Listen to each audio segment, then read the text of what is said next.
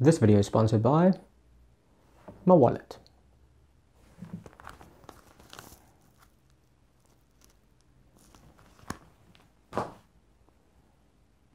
So this has been my PC for the last 10 years. It's a Lenovo ThinkCentre Core 2 Duo E4400 with a CPU speed of 2 gigahertz.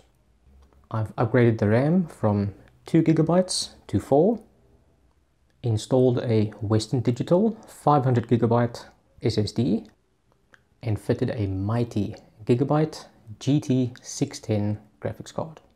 Whoa.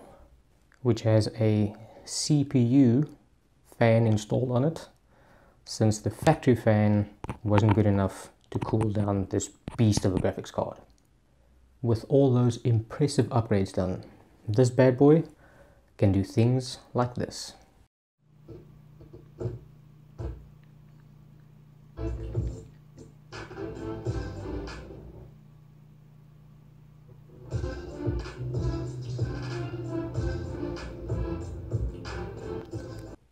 So as you can see, I can't do any editing or video playback above 1080p. So it's about time I got a new machine.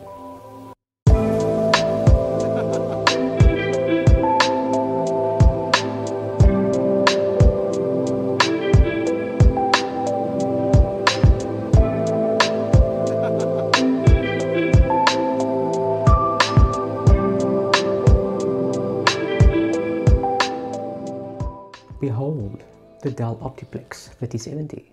It's an i3 9th generation with 4 cores and 4 threads running at a CPU speed of 3.6 gigahertz and a turbo speed or boost speed of 4.2 gigahertz. It came with 4 gigabytes of DDR4 2666 megahertz RAM, a 1 terabyte 7200 RPM mechanical hard drive, which I'll be using as the secondary drive, and the SSD as the primary drive. It also has Intel's onboard UHD 630 graphics chip, which is perfect for light video editing. It is possible to edit 4K video with the setup, but it's not recommended.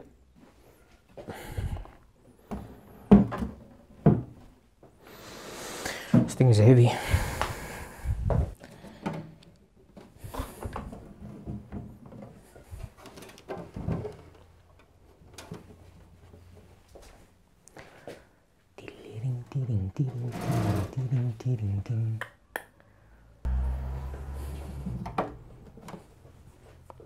The OCD is strong with this one.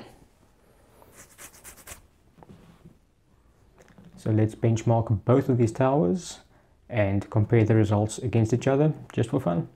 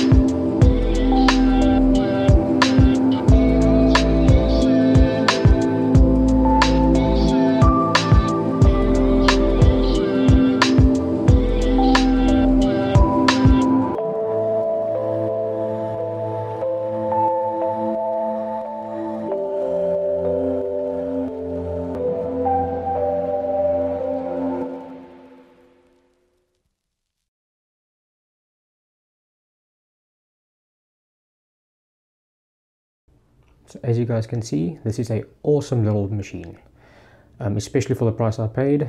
I got this on bid or buy for just like four and a half thousand with another 150 for shipping, so four six fifty, not bad.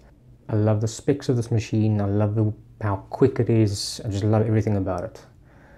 Now, only if I could find some upgrades lying around, I could make this little awesome machine even better. But where would I find upgrades? Hmm. Don't know. Somewhere, somewhere, somewhere.